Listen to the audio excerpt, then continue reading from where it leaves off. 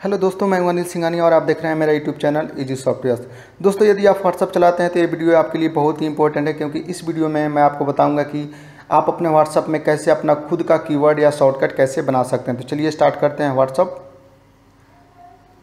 यहाँ से किसी भी चैट को सिलेक्ट कर लीजिए, यहाँ पे चैट बॉक्स पे क्लिक करेंगे। दोस्तों, यदि आपके व्हाट्सअप कीबोर्ड में इस टाइप का आइकन बने हैं तो इस फीचर्स का आप बहुत आसानी से यूज़ कर सकते हैं। यदि इस टाइप का आइकन नहीं बने हैं तो चलिए मैं आपको बता रहा हूँ कैसे इस टाइप का आइकन को आप ला सकते हैं। इसको क्लोज करेंगे। क्लोज करने के बाद प्ले स्टोर ओपन करेंगे। इसके बाद इसके सर्च बॉक्स में हम टाइप करेंगे टचपाल 2016 तो जैसा कि देख सकते हैं, यहाँ पे आ चुका है, इस पर हम क्लिक करेंगे। क्लिक करने के बाद सबसे पहले जो आइकन आएगा, इस पर हम क्लिक करेंगे। और यहाँ से इंस्टॉल कर लेंगे। दोस्तों इंस्टॉल करने के बाद आपके व्हाट्सअप में कुछ इस टाइप के आइकन बन जाएँगे। चलिए, अब मैं आपको बता रहा हूँ कि कैसे आप अपना खुद का शॉर्टकट या कीवर्ड कैसे बना सकते हैं।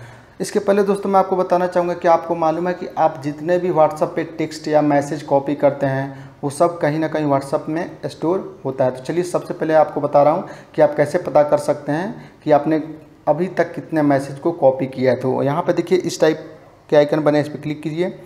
क्लिक करने के बाद इतने सारे ऑप्शन आपके सामने आएँगे। यहाँ से क्लिक कर दीजिएगा क्लिप बोर्ड तो दोस्तों, यहाँ से देख सकते हैं, बहुत सारे मैसेज आ रहे हैं। इसका मतलब मैंने इतने सारे मैसेज को कॉपी किया है। अब मैं आपको बता रहा हूँ कि आप अपना खुद का कीवर्ड कैसे बना सकते हैं। तो यहाँ पे देखिए लिखा है क्रिएट न्यू इस पर क्लिक करेंगे। क्लिक करने के बाद यहाँ पे दो टेक्स्ट बॉक्स आएँगे। सबसे पहला है कंटेंट और जो दूसरा है वो है शॉर्टकट तो कंटेंट में हम टाइप करते हैं।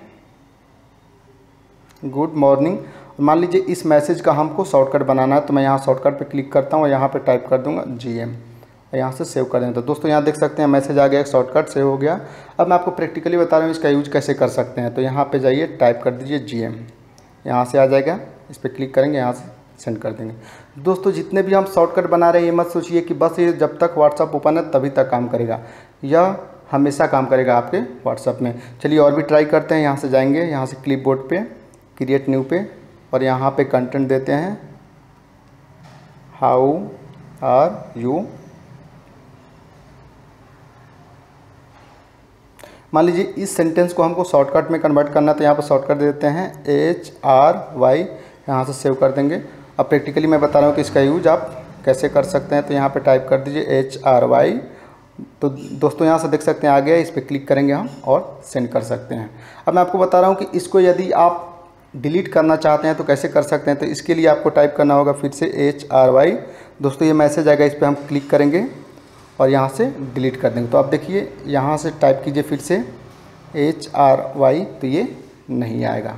तो दोस्तों, यदि आप किसी भी मैसेज को, कंटेंट को यदि आप शॉर्टकट में कन्वर्ट करना चाहते हैं तो इस फीचर्स का आप आसानी से यहाँ से यूज़ कर सकते हैं। दोस्तों, यदि ये वीडियो आपको पसंद आया तो प्लीज़ लाइक कीजिए, कमेंट कीजिए, शेयर कीजिए। Thanks for watching.